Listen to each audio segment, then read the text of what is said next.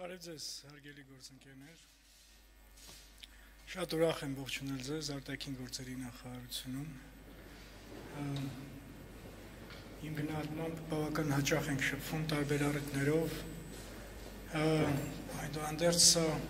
այս ձևաչափով մեր առաջին հանդիպումն է։ Իսկապես շատ հույսով եմ, որ մտքերի փոխանակում կունենանք արտաքին քաղաքական ոլորտին առնչվող հարցերի շուրջ։ Մինչև հարցերին անցնելը կուզեմ ներկայացնել օրերս Երևանում կայացած դեսպանաժողովի արդյունքները։ Եվ նպատակը այսօր այս ծավաչափով հավաքվելու իրապես կազմակերպելներ այս հանդիպումը այնպես, որ նա հետևի մեր դեսպանահավաքին։ Դեսպանահավաքը որ տեղի ունեցավ օգոստոսի 27-ից սեպտեմբերի 2-ը, մենք այստեղ հավաքեցինք արտաքին գործերի նախարարության կենտրոնական ապարատի եւ օտարերկրապետություններում Հայաստանի դիվանագիտական ծառայության մարմինների ղեկավարների արժեքներ գործ, գործողության մեջ Հայաստանի դիվանագիտությունը փոփոխող աշխարհում աշխարհում խորագիրը կրող համաժողով Ուզում եմ հատուկ նշել, որ անցյալ տարի տեղի ունեցած Թավշյա հեղափոխությունից եւ խորհրդարանական ժողովրդավարության հաստատումից հետո սա իր բնույթով առաջին համաժողովն էր, որ առանձնա, առանձնանում էր թե բովանդակային, թե կազմակերպչական ձև, կազմակերպչական ձևաչափով։ Համաժողովի նպատակն էր վերահաստատելու եւ ընդգծելու հայկական դիվանագիտության սկզբունքներն ու առաջնահերթությունները եւ ուրվագծելու դրանց կյանքի կոչման ուղղությամբ ձեռնարկվելիք հետագա քայլերը։ Պատական չէր ընտրված համաժողովի խորագիրը արժեքներ գործողության մեջ Հայաստանի դիվանագիտություն դիվանագիտությունը փոփոխող աշխարհում։ Մենք ընդգծեցինք արժեքների 3 հարթություն, որոնց վրա հենվում էր մեր հենվում է մեր արտաքին քաղաքականությունը։ Դրանք են քաղաքական արժեքները, մեր պատմական ժառանգությունը եւ ժողովրդավարության եւ մարդու իրավունքների արժեքները, որոնց սեփականատիրոջ զգացումն առավել հստական ամրագրեցինք եւ դրանց նոր որակ հաղորդեցինք Թավշյա հեղափոխության եւ դրան հաջորդած խորհրդարանական ընտրությունների ժամանակ։ Ինչպես արդեն նշեցի, ժամաժողովը նորովի էր նաեւ անցկացման ձևաչափով։ Մենք մեկնարկեցինք աշխատանքները երկորյա թեմատիկ պանելային քննարկումներով նվիրված Հայաստանի անվտանգության, զարգացման եւ իմիջային օրակարգին առնչվող հարցերին ուզում ընդգծել նաև համաժողովերի ներառական բնույթը, քանի որ տեսփանավակի աշխատանքներին ակտիվորեն ներգրաված էին իմ գործընկերներս կառավարությունից, կառավարության անդամներ, օրենսդիր իշխանության ներկայացուցիչներ, մարզային ղեկավարներ, շատ էական էր երկու ժամ տևած երկխոսությունը Հայաստանի վարչապետի հետ Մենք բովանդակալից քննարկումներ ծավալեցինք ազգային ժողովում, որը բացառիկ հնարավորություններ մտքեր փոխանակելու Հայաստանի արտաքին քաղաքականության առաջնահերթությունների քաղաքական եւ մնացած դաշտերում արկա բոլոր մարտահրավերների շուրջ։ Մեծ, մենք մեծապես կարևորում ենք խորհրդանական հարթակի ներուժի արժեք կիրառման ուղղությամբ համատեղ քայլերի ձեռնարկում, ինչպես բազմակողմ, այնպես էլ երկկողմ ձևաչափում։ Եվ այդ հանդիպումը լավ հնարավորություն էր նաև մտքեր փոխանակել այդ ուղղությամբ ձեռնարկվելի քայլերի շուրջ։ Մենք շատ կարևորում եմ նաև, որ մենք բոլորս այցելեցինք Գյումրի, որտեղ ամբողջ օրը նվիրեցինք մեր մարզային զարգացման օրակարգին եւ առնչությանը, դիվանագիտության առնչությանը մեր այս կարևոր գերական նպատակին մեր կառավարության օրակարգում եւ այնտեղ ես ընդգծեցի, որ մարզային զարգացման մեր նպատակները դրանք ամենից բացի նաեւ ազգային անվտանգության հարցը։ Մենք նաեւ կազմակերպեցինք աշխատանքները այնպես, որպեսզի ունենանք այս հավաքական շփումը մեր դիվանագիտական ներկայացությունների ղեկավարների մեր գործարար աշխարհի այստեղ եւս բազմաթիվ բաներ ունեմ ասելու, որովհետեւ գիտեք, մեր մտածումը այնպես է, որ մենք մեզ անհրաժեշտ է լավագույն, հնարավոր լավագույնս ծառայություն մատուցելու մեր գործարար աշխարհին այն առումով, որ կարողանանք լավագույն հարթակները առաջ բերել նրանց համար համագործակցության օրակարգեր զարգացնելու նպատակով։ Մենք ունեցանք այդ հանդիպումը գործարար շրջանակների հետ համագործակցելով էկոնոմիկայի նախարարի հետ։ Այստեղ այդ հանդիպումը իրապես շատ հետաքրքիր է, որտեղ ի հայտ բերեց որոշ խնդիրներ, որոնք կապված են նաև հավաքական պատվեր ձևավորելու առումով։ Թե ինչ են ուզում հավաքական առումով, ինչ կոնկրետ նպատակներ, ինչ կոնկրետ կարիքներ ունեն գործարար աշխարհը, մեզ համար ավելի ընկալելի այդ նպատակները հնարավորություն տալիս ճիշտ թիրախային հարթակներ առաջ բերել։ Այդ առումով ուզում եմ ընդգծել, որ մենք արդեն այս տարվա ընթացքում ձևավորել ենք բավական լավ համագործակցություն մի շարք ոլորտներում, մի շարք ոլորտի ներկայացուցիչների հետ, որոնք առավել լավ միավորված են, ասոցացված են։ Ինչպիսին են բարձր տեխնոլոգիայի ոլորտում աշխատողներ, ուրեմն այդ գործարարները, գինեգործության մեջ, բանկային համակարգում եւ այլն։ Եվ այդ առումով այդ միավորված, ասոցացված այդ ձևաչափը հնարավորություն է տալիս ավելի թիրախային, ավելի ընդգրկում դարձնել, հասկանալի դարձնել, թե ինչպես մենք կարող ենք թիրախային մատուցել ճիշտ ծառայություն այդ ոլորտում տնտեսական զարգացման կոնտեքստում։ Մենք նաև ունեցանք հանդիպում հանդիպում Էջմիածինում շատ առանձնահատուկ նշանակություններ այդ հանդիպ, մեր հանդիպումը վեհապար Կարինի երկրորդ ցարայգուն պատրիարք եւ ամենայն հայոց կաթոլիկոսի հետ հանդիպման շրջանակներում քննարկվեցին նախարարության եւ Մայրաթորի դիվանագիտական ներկայացությունների եւ աշխարհասփյուռ եկեղեցական կառույցների միջև համագործակցության առնչվող հարցերի լայն շրջանակ։ Մենք առանձին հանդիպում ունեցանք նաեւ նորանշանակ Սփյուռքի բարձր հանձնակատարի հետ, որտեղ նույնպես ձևավորեցինք այն հիմնական նպատակները, որոնց շուրջ մեր երկու հաստատությունները աշխատելու են շատ սերտ։ Աշխատում են միշտ, աշխատել են միշտ, որտեղ այդ առումով շատ հասկանալի է, որ դիվանագիտական ներկայացուցիչները առաջին առօրյա աշխատանքի առաջին այդ գիծն են Սփյուռքի հետ մեր հարաբերությունները ձևավորելու, կառուցելու եւ իրականացնելու առումով։ Եվ այստեղ նույնպես մեծ հաջողվեց մեծ հաջողվեց անցկացնել այդ քննարկումները եւ նաեւ նոր հանձնակատարի հետ ուրվագծել այն աշխատանքները, որոնք այս առաջիկա շրջանում ձևավորել են շարունակել են ձևավորել այդ հստակությունը մեր օրակարգի։ Բնականաբար մեծ նշանակություններ այցը Արցախ, որտեղ ամենից բացի դա առանց Արցախ այցելելու այս հավաքը ուղղակի թերի կլիներ եւ ամենից բացի սա գործնական էր, որովհետեւ շատ առարկայական քննարկումներ ունեցանք եւ Արցախի նախագահի հետ եւ ԱԳՆ ղեկավարողակի հետ խորհրդակցությունների ձևաչափով այնտեղ նաեւ հնարավորություն ունեցանք իմ գործընկերոջ հետ Լեռնային Ղարաբաղի Հանրապետության Արցախի Հանրապետության արտաքին գործերի նախարարի հետ միասին նաեւ համատեղասուլիս տալ այնտեղ բովանդակային առումով ինչպես գիտեք համաժողովի ժամանակ ունեցած իմ ելույթում ներկայացրեցի Հայաստանի արտաքին քաղաքականության երեք հիմնարար սկզբունքները՝ ինքնիշխանություն, համահայկականություն եւ փոխգործակցություն։ Այստեղ հատուկ նշեմ, որ այդ սկզբունքները դիտարկվում եւ գործողության մեջ գնահատվում են որպես մեկ միմյանց փոխլրացնող ամբողջություն։ Մեր առաջնային նպատակն է մեր գործողություններում հասնել այդ սկզբունքների լիակատար եւ համալիր իրականացմանը նպատակաուղված մեր ազգային շահերի արդյունավետ իրականացմանը։ Իհարկե շատ ու շատ բաներ ունեմ ասելու,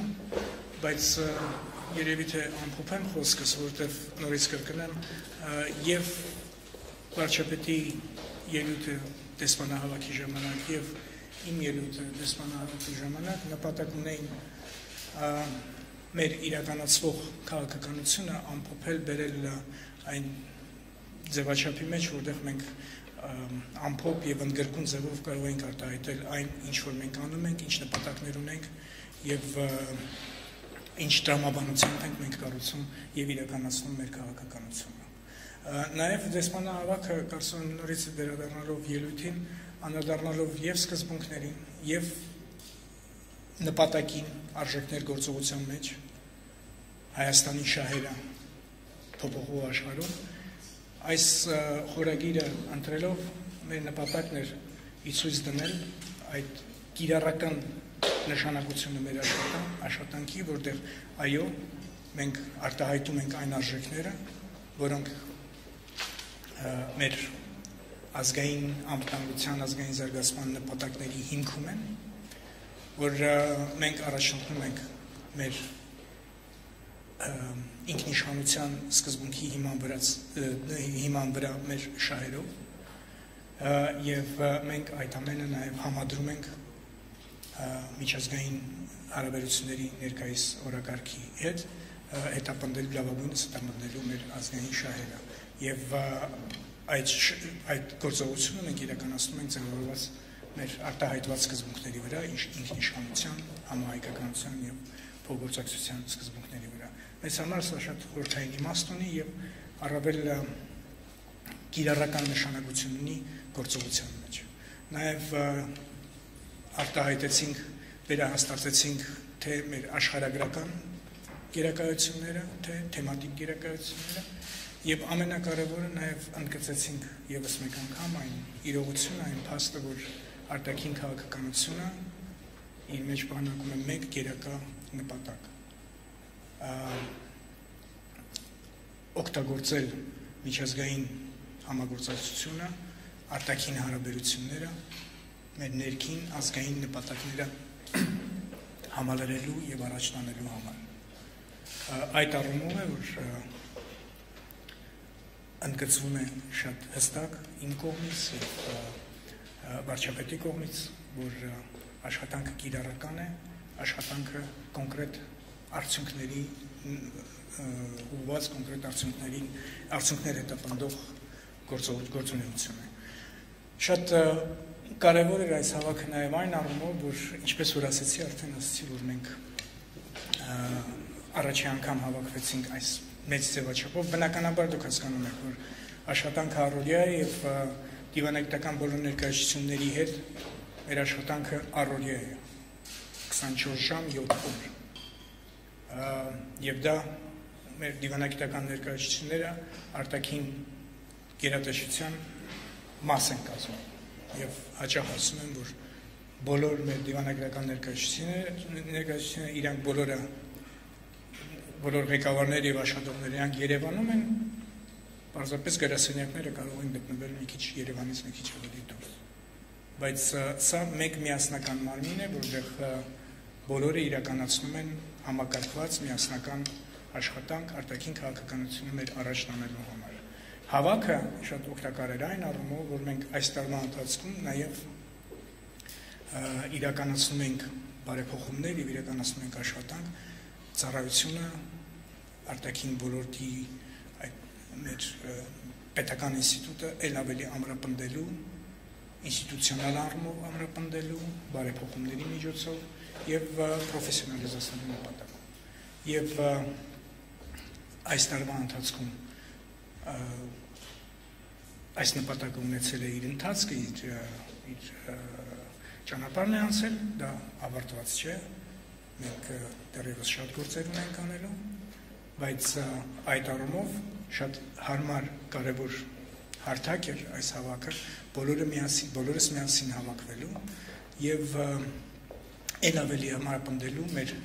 մեր ընկալումները, մեր մեր միասնական այդ նպատակները համակարգված առաջ տանելու մեր օրակարգը սա ամենից բացի նաև, այսպես ասենք, կոնսոլիդացման այդ կարևոր նպատակը ուներ այս մեր հավաքը։ Կոնսոլիդացման, փոխլրացման, փոխկապակցվածության եւ նպատակի հստակ նպատակների հստակ ընկալման ինչպես նպատակային իրականացնել արտաքին քաղաքականություն, կառավարության ծրագիրը, ազգային նպատակները առաջ տանելու համար։ Այս առումով էր, որ բավական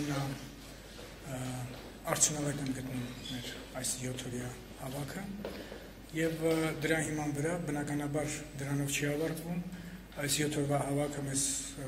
բավական մեծ նյութ տվեց նաեւ նորից վերլուծելու մշակելու հստակեցնելու այն քայլերը, այն քաղաքականությունը, որը մենք իրականացնում ենք առաջ տանելու մեր կառավարության ծրագիրը եւ մեր ազգային նպատակները։ Մենք հիմա վերլուծում ենք դա եւ այս քննարկումների եւ վստահ եմ նկատեցիք քննարկումները շատ ներառական են, նրանք կառուցված են այնպես, որպեսզի մենք ստրուկտուրիզացված քննարկում ունենանք, ստրուկտուրիզացված յուրաքանչյուր թեման ուներ հստակ ձևավորված օրակարգ,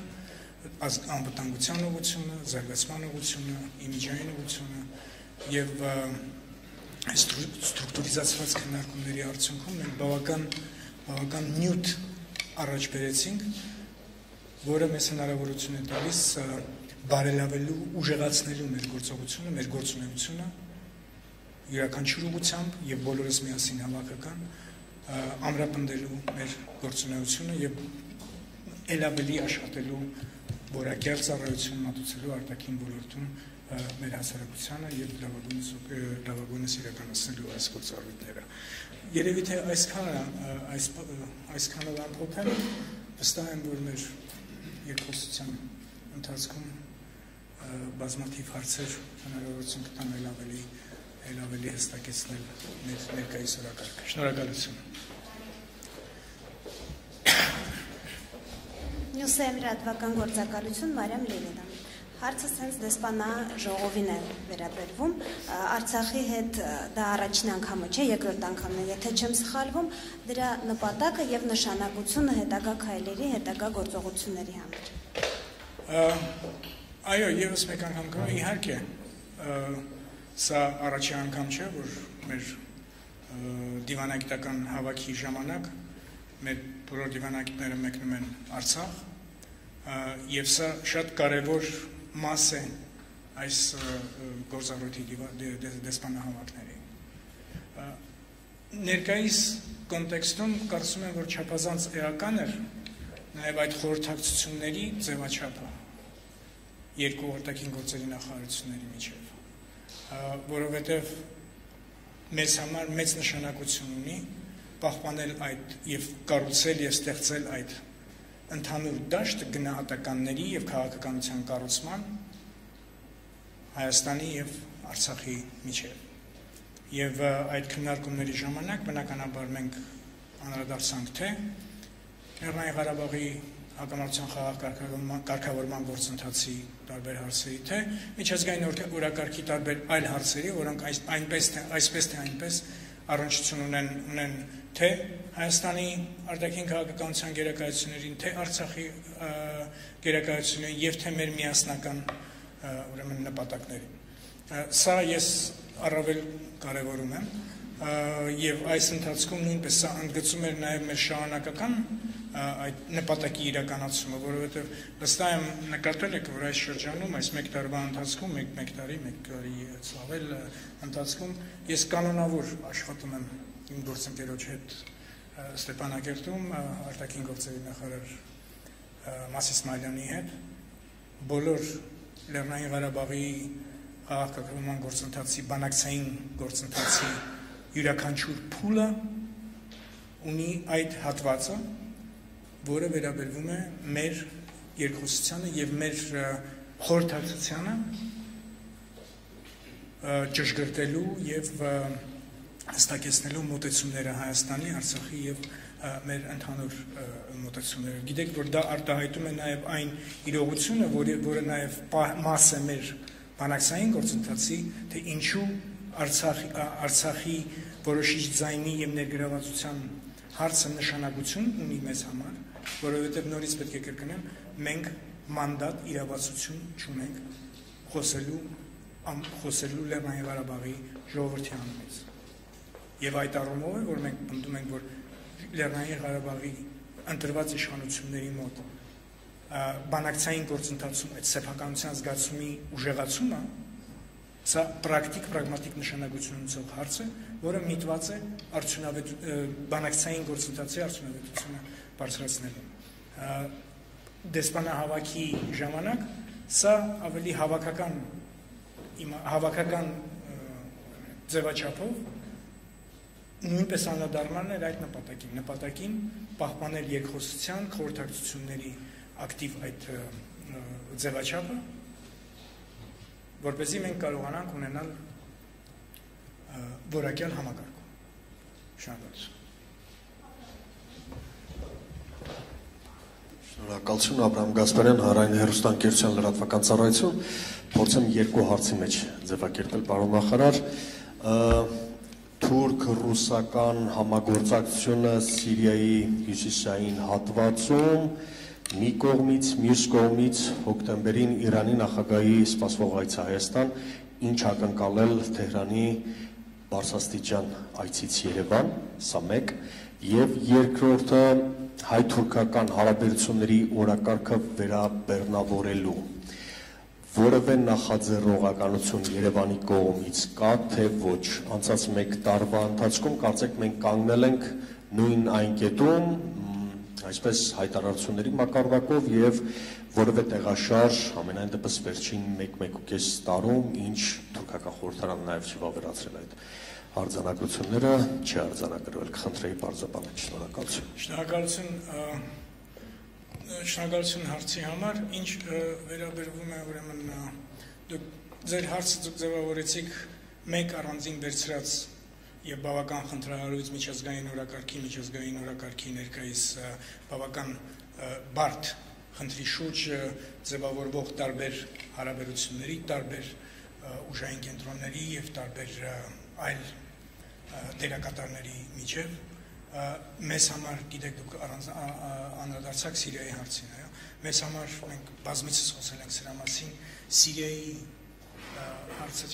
Սիրիայի հարցը մեզ համար առավել զգային զգայուն հարց է եւ մենք դա արտահայտում ենք նաեւ մեր արտասիրական առաքելության այդ գործառույթի իրականացնելու միջոցով, որը ընդգծում է մեր զգայունությունը եւ մեր գերակայությունը այդ այդ իմաստով ինչ վերաբերվում է մնացած այլ զարգացումների, գիտեք, որ դրանք չափազանց դինամիկ են եւ բազմաթիվ, բազմաշերտ են եւ բազմաթիվ հարթակներ ունեն Սիրիայի կարգավորման, Սիրիայի ճգնաժամի կարգավորման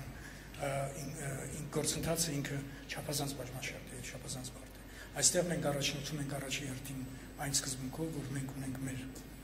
արտահայտված այդ զգայունությունը եւ գերակայությունը, որը վերաբերվում է անվտանգությանը մեր հայրենակիցների եւ առաքելությունը նորից կրկնեմ հումանիտար առաքելությունը մարդասիրական առաքելությունը հենց այդ մտածողն է հետապնդում եւ ավելի կոնկրետ անդրադառնալով ձեր հարցին մենք մենք ունենք Ռուսաստանի հետ հստակ ձևավորված ավանդական ռազմավարական համագործակցություն մենք ինքներս ունենք մեր օրակարգը համագործակցության բազմաթիվ գործընկերների հետ նաև մեր գերակայությունները արտահայտված են նորից եթե դուք տակ հաղում կանեմ ելույթին, որը հնչեցվեց հավաքի ժամանակ եւ այդ բոլոր ուղություններում մենք ունենք մեր գերակայությունները, մեր գործընկերները, այո, եւ հաշվի ենք առնում նաև բնականաբար ներկայիս միջազգային հարաբերությունների օրակարգը եւ այդ դինամիկան եւ մենք կառուցում ենք մեր հարաբերությունների իրականություն մեր գործընկերոջ հետ երբևէ բացառելով նման համագործակցությունը մեր մյուս գործընկերոջ հետ հարաբերությունների հաշվին։ Այս կոնտեքստում մենք ունենք մեր հարաբերությունները Ռուսաստանի հետ, ռազմավարական դաշնակցային խորքային հարաբերությունները եւ չենք կարող ակնկալել, որ այդ հարաբերություններում որ եւ գիտենք, որ մեր գործընկերները նույնպես ունեն այդ զգայունությունը եւ բնականաբար մենք խորհրդակցության մեջ ենք մեր գործընկերների հետ թե կոնկրետ այս հարցում, թե ընդհանրապես ավելի լայն իմաստով Սիրիային վերաբերվող հարցերում։ Եւ այդ խորհրդակցությունը նաեւ վերաբերում է մյուս գործընկերներին։ Ինչ վերաբերվում է Իրանին, Իրանի հետ այս տարվա ընթացքում դուք վստահ եմ, որ նկատել եք, որ Իրանի հետ մենք ունենք բավական ավանդական նորից ընդգրկում օրակարգ եւ եւ և, մենք դա արտահայտել ենք նաև մեր գերակայությունների մեջ, ինչ ինչ նշանակություն ունի Հայաստանի համար այդ գերակայությունների շարքում այդ առաջնայնությունը նաև հարաբերությունների մեր անմիջական հարևանների հետ, Վրաստանի եւ Իրանի հետ արտահայտվում է մեր արդեն կոնկրետ քաղաքականություն իրականացնելու միջոցով։ Եվ այստեղ Իրանի հետ հարաբերություններում նորից մենք ունենք բավական ցավալուն օրակարգ, որի նպատակն է, որի նպատակն է թե տարածաշրջանային անվտանգության, թե զարգացման բնագավառում, թե ենթակառուցվածքների էներգետիկ դիվերսիֆիկացման օրակարգում գտնել ձևաչափեր, խորացնել համագործակցությունը այնպես, որպեսզի մենք կարողանանք ար, արդյունքներ արդյունքներ ձևավորել այս նպատակը հետապնդելու առումով։ Եվ սա բնականաբար մեր ազգային շահերից է Եվ Իրանի հետ մենք այդ կանոնավոր հիմնված բարի դրացիական եւ շատ բարեկամական հարաբերությունների վրա այդ հարաբերությունները իրենք այս տարվա ընթացքում մենք մենք բավական ակտիվ շարունակել ենք եւ շարունակել ենք ներդրում կատարել այդ առումով եւ նաեւ ստեղ կա եւս մեկ կոնտեքստ դա Հայաստանի անդամակցությունն է ԵԱՏՄ-ում եւ Հայաստանի անդամակցությունը ԵԱՏՄ-ում նաեւ հնարավորություն տալիս հետապնդել մեր շահերը նաեւ այդ շրջանակի միջոցով Եվ Իրանը դուք օրինակը բերեցիք Իրանի, այստեղ կան բազմաթիվ այլ օրինակներ, Սինգապուրը, Վիետնամը, Եգիպտոսը եւ այլ հայտեր կան եւ այլ այդ առումով ԵԱՏՄ-ի համագործակցության ընդլայնման առումով այլ նպատակներ, այլ գործընթացներ եւս այլ ուղղություններով տեղի են ունենում եւ բնականաբար լինելով Իրանը լինելով մեր ամիջական հարևանը մեզ համար բնականաբար շատ հետաքրքիր եւ շատ շահավետ, որ ԵԱՏՄ շրջանակը համագործակցության նույնպես նույնպես օրակարգային է։ Եվ այստեղ նորից պետք է հանդարտանալ, որ այս ամենը մենք անում ենք հիմնվելով մեր գերակայությունների վրա, մեր շահերի վրա եւ բնականաբար համադրելով դա այլ զարգացումներով միջազգային հարաբերությունների օրակարգում, որոնք բնականաբար չեն կարող անտեսել, բայց նորից եմ կրկնում, մենք այդ առումով երկխոսության հետ ենք բազմաթիվ մեր գործընկերների հետ եւ մեր գործառույթն է ուղղակի բարձ բացատրելի, բարձ հստակ արտահայտել եւ պաշտպանել այն, ինչ վերաբերվում է մեր շահերին։ Եվ նաեւ նորից եմ կրկնում, անել դա այնպես, որպեսզի մենք չլինենք իրավիճակում, երբ որ մենք գործընկերոջ հետ հարաբերությունները արվում են մյուս գործընկերոջ հետ հարաբերությունների հաշվին։ Շնորհակալություն։ Այո, ներողություն, Թուրքիայի հետ հարաբերությունների առումով ես դժբախտաբար պետք է ասեմ եւ նորից պետք է հողում կատարեմ դեսպանավակի ելույթին, դժբախտաբար մենք ունենք իրավիճակ, երբ որ այդ այդ ուղղությամբ մենք ունենք ոչ որևէ դեպքում ոչ ողջունելի իրողություններ։ Դա իրողությունն է Ցյուրիխի գործընթացի մերժման Թուրքիայի կողմից։ Դա իրողությունն է շահանակական շրջափակման բլոկադայի, դա իրողությունն է Լեռնային Ղարաբաղի ակամարտության հարցում կողմնակալության, խիստ ընդգծված կողմնակալության եւ իրողությունն է շահանակական ցեղասպանության շփման հարցում այդ քաղաքականության շահանակական հետապնդմանը, որը առավել ցավոտ արտահայտում ստացավ նաև ոչ ուղղակի ժխտման, այլ նաև արդարացման ցեղասպանության, որը արտահայտվեց այդ երկրի ղեկավարի կողմից ապրիլի 24-ին։ Պետք է կրկնեմ, որ մենք սա ասել ենք եւ նորից կրկնեմ, որ մենք պատրաստ ենք առանց նախապայմանների հարաբերությունների դիվանագիտական հարաբերությունների հաստատմանը Թուրքիայի հետ։ Սակայն այդ առումով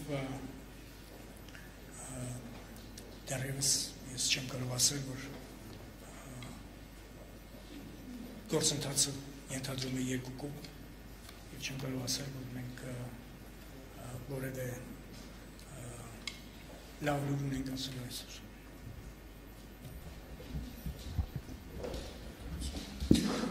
Ազատություն ռադիոկայան։ Պարոն նախարար, ձեր թույլտվությամբ մի քանի հարց ունեմ։ Առաջինը ըստ տեղեկությունների հոկտեմբերի Երևանում ԵՏՄ գագաթնաժողովին մասնակցելու են նաև Իրանի եւ Սինգապուրի ղեկավարները հաստատում եք դուք այդ տեղեկությունը թե ոչ եւ եթե հաստատում եք ինչ է նշանակում նաեւ նրանց մասնակցել այդ գագաթնաժողովին երկրորդ հարցը. Մամուլում տարբեր էսպես վարկածներ հրապարակվեցին, ինչու վարչապետը ի վերջո չմեկնեց Լեհաստան, արդյոք դա կապված էր ի համերաշխություն Ռուսաստանի դիրքորոշման, թե կա մեկ այլ տարբերակ, խնդրում եմ դա էլ նշել եւ ձեր թույլտվությամբ մի երրորդ հարցնել մենք հաճախ տեսնում ենք որ Հայաստանի նախկին պաշտոնյաները ովքեր մեղադրվում են տարբեր հանցագործությունների մեջ Ռուսաստանում քաղաքական ապաստան են ստանում եւ վերջերս էլ ականատես եղանք պարոն Շիշկինի դեպքին, ինչ կարող եք ասել այս զուգահեռ գործընթացների մասին, շնորհակալություն։ Շնորհակալություն։ Ինչ վերաբերում է ԵԱՏՄ գագաթնաժողովին, որը տեղի կունենա Երևանում հոկտեմբերի 1-ին, այո, մենք պատրաստվում ենք եւ այս նայեք ԵԱՏՄ-ն ինքը հավաքական միավոր է իր անդամ պետություններով, որոնք որոշում են ընդունել բոլորը միասին, որ անցկացնելու են գագաթնաժողովը Երևանում հոկտեմբերի 1-ին մեր նախաձեռնությամբ եւ մենք մեր հրավերով այս հրավերը ընդունվել է եւ մենք նախապատրաստում ենք եւ բնականաբար բոլորը միասին նախապատրաստում են այս գագաթնաժողովը։ Մենք նաեւ մեր կողմից հաշվի առնելով անդրադառնալու նաեւ նախորդ հարցին, հաշվի առնելով այն կարևոր գերակայությունը, որ գոյություն ունի ԵՏՄ շրջանակ ԵՏՄ ներսում անդամ պետությունների կողմից խորացնելու եւ ամրապնդելու համագործակցություն եւ ինտեգրացիոն գործընթացները ոչ միայն ԵՏՄ ներսում, այլ նաեւ ամրապնդելու համագործակցությունը ԵՏՄ որպես տնտեսական միավորի աշխարհի տարբեր այլ երկրների կամ միավորումների հետ, այս քաղաքականությունը նույնպես հավաքական մեր կամքի արտահայտություն է եւ յուրաքանչյուրը իր ուղղությամբ փորձում է ներդրումը դնել այդ առումով էր որ Հայաստանի վարչապետի այցի ժամանակ հարավարևելյան Ասիա, մասնավորապես Սինգապուր կար այդ համաձայնությունը, որ հնարավոր է ընդգծել այդ համագործակցությունը նաև մասնակցությամբ Սինգապուրի բարձր ղեկավարության եւ ինչ վերաբերում է Իրանին, այստեղ Հայաստանը նույնպես իր կողմից մյուս անդամների անունից նաև նախաձեռնողական առումով առաջ է տարել օրակարգը Իրան ԵԱՏՄ հարաբերությունների առումով եւ նույնպես մենք նախաձեռնել ենք որպեսզի դա արտահայտվի արտահայտվի դագատնաժողովի ժամանակ։ Եվ այսպես մենք հիմա նախապատրաստվում ենք եւ այո մենք սպասում ենք որ այս ամենը իրականացվելու է Երևանում մասնակցությամբ ԵԱՏՄ անդամ պետությունների ղեկավարների եւ մասնակցությամբ հյուրերի, որոնք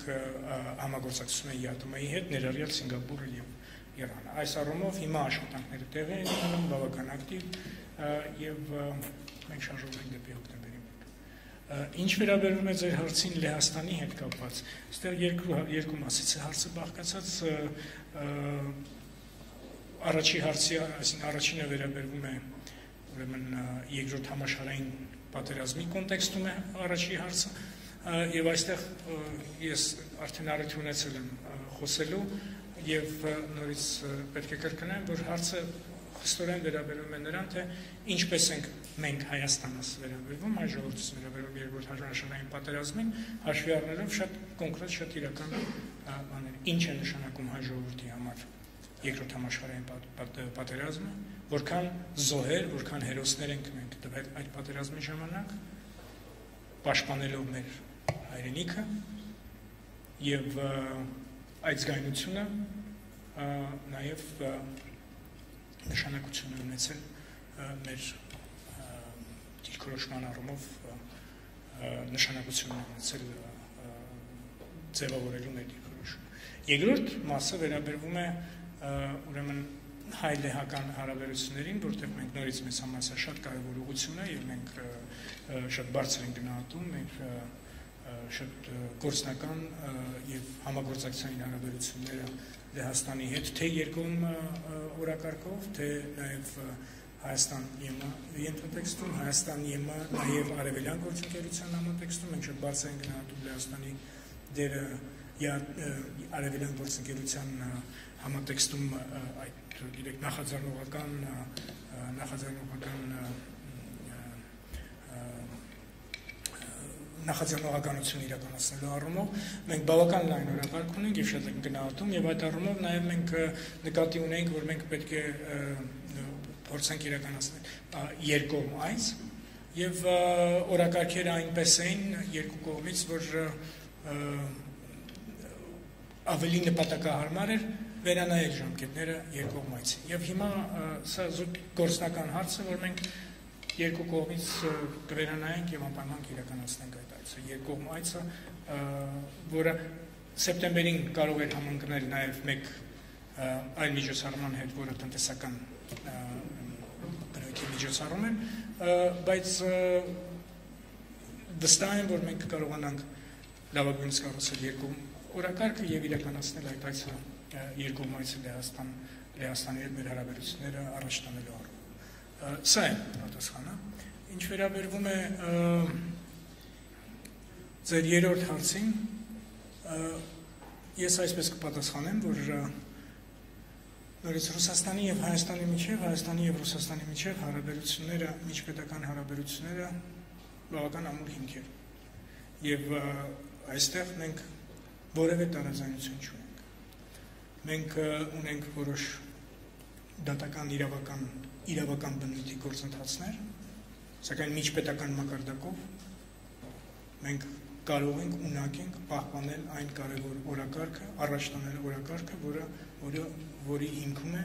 մեր դաշնակցային հարաբերությունները խորացնելու նպատակ։ Որևէ կերպ փոխկապակցվածություն հարցերի գոյություն չունի եւ չի կարող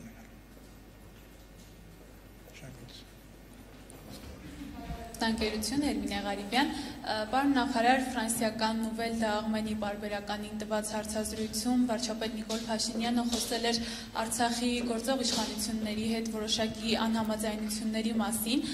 Սրան Արցախից եղան արձագանքներ, որ եթե ամեն դեպքում կան որոշակի անհամաձայնություններ, դրանց բարձրաձայնումը վտանգավոր է եւ դրանք պետք է լուծվեն փակ դռների ետևում։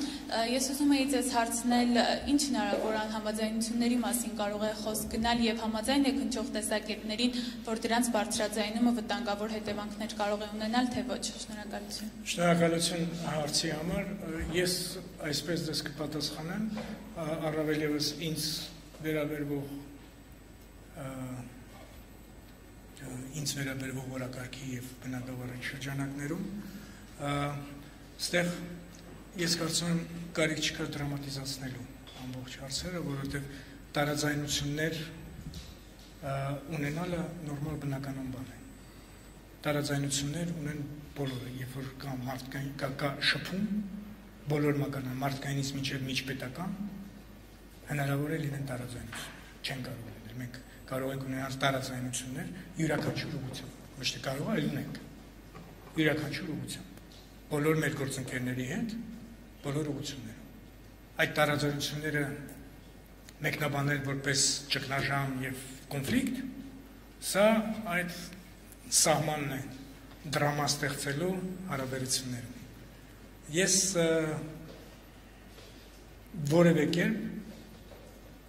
բացառում եմ, որ մենք ունենք որևէ այդ դրաման տարազանություն։ Մենք ունենք օրինակից նորից վերադառնամ իմ բնակավարին եւ նորից կրկնեմ այս տարվա ընթացքում վստահ ականատեսեք, որ չափազանց ակտիվ երկխոսություն է գնում Լեռնային Ղարաբաղի իշխանությունների հետ իմ մասով արտաքին բնակավարի մասով եւ մասնավորապես առավել եւս Լեռնային Ղարաբաղի խաղաղ հարցում։ Հիմա մենք ունենք տարաձայնություններ։ Եթե դուք ենթադրում եք ամեն ինչի մասին տեսնում ենք միմյանց ասում ենք դե ամեն ինչի մասին արդեն ամենը համաձայն ենք, էլ ինչի հանդիպում։ հանդիպում ենք հենց դրա համար, համադրելու, քննարկելու եւ գտնելու ճանապարհ, առաջ առաջ գնալու ճանապարհը։ Այդ առումով ես կարծում եմ, որ շատ հստակ է, որ երկխոսությունը եւ համադրումը նպատակների եւ խնդիրների տեղի ունենում առավել եւս վարչապետի մակարդակով եւ նաեւ մյուս բոլոր մակարդակներով։ Ես ինքս իմ գործառույթները իրականացնելիս աշխատում եմ աշխատում եմ եւ Արցախի հանրապետության նախագահի եւ արտգործնախարարի հետ աշխատում եմ նաեւ հանդիպումներս իմ եւ ազգային ժողովում են Արցախի հանրապետության այո եւ բոլոր մնացած մակարդակներով իմաստը երկխոսության միջոցով շարժվել առաջ բայց նույն այդտեղ այդ սահմանի ձևակերպումն է ես հասկանում եմ որ չորդ իշխանության համար առավել առավել հետաքրքիր է այն պահը, որ երբ կոնֆլիկտը առավել արտահայտված է։ Ես չեմ տանի այդ ուղղությամբ եւ չեմ պնդի, որ գոյություն ունի կոնֆլիկտ, որը ան որը անհաղթահարելի է, գոյություն ունի որևէ իրավիճակ, որտեղ մենք ունենք ճգնաժամ։ Նման բան գոյություն չունի։ Բայց գոյություն ունի երկխոսություն, որի մեջ կարող է լինել անհամաձայնություն։ Ես սա շատ նորմալ բնականon իրավիճակ է երկու միավորների միջև հարաբերություններում։ Եվ նորից եմ կրկնում, սա կարող եք տարածել յուրաքանչյուր ուղղությամբ։ Շնորհակալություն։ Վայ Մակարյան հրապարակորդ։ Պարոն նախարար, մի քանի հարց ունեմ, բայց մի մասը, եթե երկրորդ հնարավորություն կլինի, կպահեմ դրանց։ Շարունակելով Արցախի թեման, ուզում եմ հիշեցնել Նիկոլ Փաշինյանի հայտարարությունը Արցախը Հայաստան է եւ վերջ։ Սրան դուք դիվանագիտորեն ինչպես եք վերաբերվում, արդյոք դա կարող է դիվանագիտական առումով որևէ կերպ ազդել Արցախյան հարցի կարգավորման գործընթացի վրա երկրորդ ԵՏՄ-ի այդ գագաթնաժողովի եւ մասնակցության մասով հարցնեմ. Վլադիմիր Պուտինի այցը հաստատված է թե ոչ եւ եթե նա այցելի Հայաստան եւ ցանկություն հայտնի այցելել տեսակցել նաեւ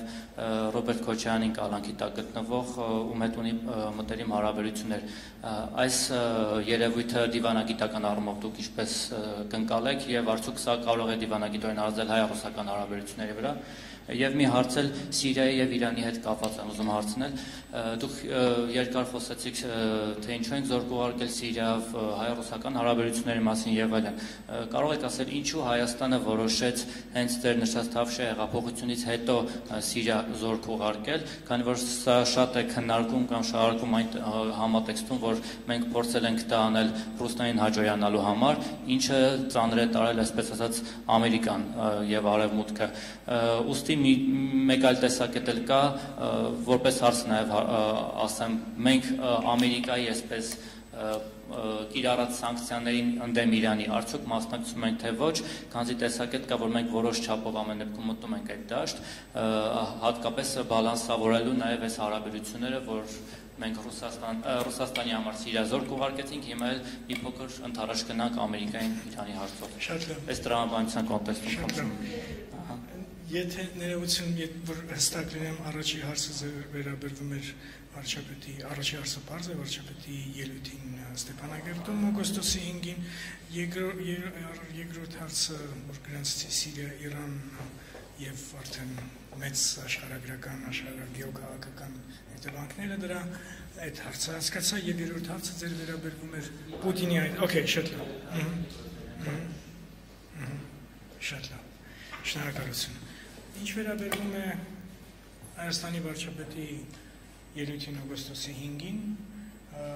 վստահ եմ, որ նորից ես պետք է հղում կատարեմ մեր արտաքին գործերի նախարարության հայտարարությանը օգոստոսի 6-ին։ Այդ առումով թե ինչպես է դա ընկալվում, թե ինչպես է դա ներառվում մեր մտածումներում Լեռնային Ղարաբաղի խաղակարգավորման գործընթացում նորից ուզում եմ կրկնեմ, շատ մեծ նշանակություն ունի կոնտեքստը եւ նպատակը, այդ ելույթի եւ կոնտեքստը եւ նպատակը նախ վարչապետի շեշտադրումների։ Վարչապետը շատ ընդարձակ խոսել է համահայկականության մեր գերակա խնդիրների մասին։ Եվ շատ ընդարձակ խոսել է համերաշխության միասնականության եւ զարգացման մեր համայնքական համազգային նպատակների մասին։ Միևնույն ժամանակ խոսելով Լեռնային Ղարաբաղի խաղաղ կարգավորման գործընթացի մասին շատ հստակ արտահայտել է իր մտածումները այն հատվածում, որը որը ձևակերպված է որպես կոնսենսուս համարվեց։ Եվ այդ մասում ինքը դերահաստատել է բոլոր այն սկզբունքային մոտեցումները, որոնք արտահայտված են Հայաստանի կողմից Լեռնային Ղարաբաղի խաղաղակարգման գործընթացի նպատակով։ Եվ մենք դրան անդրադարձել ենք նաև մեր հայտարարությունում, արտաքին գործերի նախարարության հայտարարությունում օգոստոսի 6-ին։ Մեզ համար նորից կրկնեմ Լեռնային Ղարաբաղի խաղաղ կարգավորման կարգավորման խաղաղ բնույթը այլ չունի։ Եվ մենք շարունակելու ենք բոլոր մեր ջանքերը ներդնել այդ ուղղությամբ։ Եվ ոչ որպեսզի չընթարցակվեմ, վստահ եմ, որ բազմիցս կրկնվել են մեր մտածումները, դիրքորոշումները եւ գերակայությունները։ Վերջին անգամ նորից հաղում կարող եմ կատարել վարչապետի եւ իմ ելույթներին դեսպանահավաքի համար ժամանակ, բայց կարծես շատ հստակ է այդ կայուն մոտեցումը, որը մենք արտահայտվել ենք, արտահայտել ենք այս մեկ տարվա ընթացքում։ Այդ առումով է կա մեր համահայկականության գերակայությունը, կա համերաշխություն եւ միասնություն եւ ազգային զարգացում օրակարգը եւ կա գերակայությունը նաեւ Լեռնային Ղարաբաղի խաղաղակարգման մասը։ Ձեր երկրորդ հարցին վերադառնալով ձեր երկրորդ հարցին նորից կրկնեմ մենք նախատեսում նախ, նախապատրաստում ենք հոկտեմբերի 1-ին լավետնաժողովին, որին մասնակցելու են ԵԱՏՄ անդամ պետությունների ղեկավարները, սա մեր բոլորիս միասնական որոշումն է եւ սա միջպետական հարաբերությունները ներկայիս կոնտեքստում դա մի պետությունների հավաքական ձգտումը միասին աշխատելու մեկ միավորի մեջ ԵԱՏՄ ինտեգրացիոն գործընթացները խորացնելու նպատակով։ Եվ մենք օգտվում ենք դրանից եւ մենք սպասում ենք եւ նախապատրաստում ենք մեր հանձնարարությունն է հոկտեմբերի 1-ին իրականացնել գագաթնաժողովը եւ մենք սպասում ենք մեր բոլոր ղեկավարներին, մեր գործընկեր պետությունների ղեկավարներին։ Եվ այո, մենք ունենք հաստատումներ, մենք ունենք որևէ իրավիճակ, որը ես ասեմ, որ մեզ ինչ որ մի արտարոց իրավիճակ է ստեղծել հոկտեմբերի 1-ի այդ գագաթնաժողովի նախապատրաստման առում։ Բնականon գնում են նախապատրաստում։ Ունենք մեկ ամսից մի փոքր քիչ եւ հիմա ամենաակտիվ շրջանն է, որ արդեն սկսում են բոլոր մեխանիզմները աշխատել արողակարգայինից մինչև բովանդակային, որպեսզի լավագույնս անցկացնել։ Ձեր երկրորդ հարցին անդրադառնալով, երկրորդ մասին հարցի անդրադառնալով, այդ եթե կոնտեքստը բնականաբար ինձ որևէ ձև չի հրապուրում մեկնաբանելու, թե եթե այնպես թե ուրեմն ինչպես։ Մենք պատրաստվում ենք գագաթնաժողովին եւ վստահ եմ, որ անցկացնելու ենք շատ արդյունավետ, շատ լավ գագաթնաժողով եւ որ վստահ եմ, որ հայ-ռուսական միջպետական հարաբերությունները այս գագաթնաժողովից միայն շահելու են եւ խորանալու են եւ ամրապնդվելու են։ Մեր մոտեցումը եւ մեր նպատակը դա է։ Նորից եմ կրկնում, միջպետական հարաբերություններում Հայաստանի եւ Ռուսաստանի միջեւ մենք ունենք շատ հստակ ձևավորված օրակարգ եւ երկու կողմերի հստակ ցանկությունը խորացնելու եւ ամրապնդելու մեր հարաբերությունները։ Ինչ վերաբերում է Սիրիային, Սիրիայի մասով, գիտեք, ձեր ձևակերպված հարցը ինձ համար որոշ չափով հակասության մեջ է այն սկզբունքների հետ, որոնք մենք որոնց վրա մենք պնդում ենք եւ արտահայտել ենք մեր նաև վերջերս վերջի անգամ այս մեր դեսպանահավաքի ժամանակ։ Մեր մտածումները հիմնվում են մեր ինքնիշխանության եւ մեր ազգային շահերի վրա։ Մենք չենք հաջողանում որևէ մեկին եւ չենք անում որևէ գործառույթ, որը որը բխում է առաջի հերթին այլ պետության շահերից։ Սա ձեր հարցադրումը եւ մեր մտածումը որոշ չափով միմյանց հետ կոնֆլիկտի մեջ ոչ հակադրության։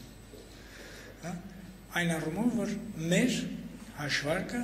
հիմնվում է առաջի հերթին ազգային շահի վրա։ Հաշվարկելով ազգային շահը, բնականաբար այդ հաշվարկը նկատի ունի հետևյալը, որքանով իր տեսական է առաջ տանել այդ ազգային շահը, պահպանելով, համադրելով դա իրողությունների հետ։ Եվ մենք այսօր իրականացնում ենք հումանիտար առաքելություն Սիրիայում, ելնելով այն նպատակներից, որը հրճակել ենք։ Սա մեր ազգային շահն է։ Իրականացնելով դա, մենք նաև ունենք իրողություններ, որոնց հետ պետք է հաշվի առնենք եւ մտնենք երկխոսության մեջ մեր մյուս գործընկերների հետ։ Սա է իր, իր սա, սա է մեր կիրառական նշանակությունը մեր աշխատանքի։ Ապահովելու մեր ազգային շահի իրականացումը այնպես, որպեսզի մենք կարողանանք դա բացատրելի դարձնել եւ կարողանանք պաշտպանելի դարձնել։ Բայց ոչ թե հաջողանալ կամ չհաջողանալ։ Եվ այդ առումով նաև նույնիսկ վերադառնալով շատ երկրորդ մասը ձեր հարցը իսկապես շատ օգտակար է, շատ բազմա բազմաթիվ շերտեր ունի, նաև դուք անդրադարձաք Իրանին եւ Միացյալ Նահանգներին, այո, ձեր հարցում եւ իրողություն է։ Իրանի եւ Միացյալ Նահանգների միջև հարաբերությունները այսօր ունեն կոնտեքստ եւ իրողություն։ Այո։ Եվ կա գոյություն նաև սանկցիաների կոնտեքստ, եւ հարցը որ սանկցիաների մասն է խոսքը, կա անվտանգության խորհրդի սանկցիաները, կա Միացյալ Նահանգների կողմից հայտարարված սանկցիաները, կան տարբեր այլ գիտեք զարգացումներ, որոնք վերաբերում են մյուս մեր գործընկերներին, Եվրամիության եւ անդամ պետություններին Եվրամիության, Ռուսաստանին եւ այլն եւ այլն։ Այո։ Ստեղ մենք նորից մեր հիմնական գործառույթը հստակ տեսնել մեր ազգային շահը այս առումով եւ համադրել դա իրողությունների հետ։ Բնականաբար մենք չենք կարող արհամարել որոշ իրողություններ, մեզ համար շատ էական նշանակություն ունի Իրանի հետ հարաբերությունները, անմիջական հարևանի հետ։ Այո, ինչպես ասեցի, թե տարածաշրջանային անվտանգության կոնտեքստում, թե նաև մեր ազգային անվտանգության կոնտեքստում։ Եվ դա եւ գիտեք այդ ճանապարհներից, էներգետիկայից, առևտրատնտեսական մարկային եւ ի վերջո Իրանի հետ մենք ունենք հարաբերություններ, որտեղ շատ առաջի օրը չեն կառուցած եւ մենք ունենք նաեւ մեր ներկայությունը, բավական խորը ներկայությունը Իրանում։ Սա իրողություններ են։ Եվ սա ձևավորում է մեր կարևոր մեր գերակայությունը Իրանի հետ հարաբերություններում։ Միևնույն ժամանակ ժամանակ մենք ունենք մեր գերակայությունը Միացյալ Նահանգների հետ հարաբերություններում եւ այս ձևավորված ձևավորված գերակայությունը նույնպես նույնպես տարածաշրջանային համագործակցություն տարածաշրջանային անվտանգության կոնտեքստում եւ նույնպես մեր ազգային զարգացման ազգային անվտանգության կոնտեքստում եւ հիմա իհարկե սա մարտահրավեր է մեր արտաքին քաղաքականության համար մարտահրավեր է որպեսզի մենք կարողանանք գործել այնպես որպեսզի նվազեցնենք այն վտանգները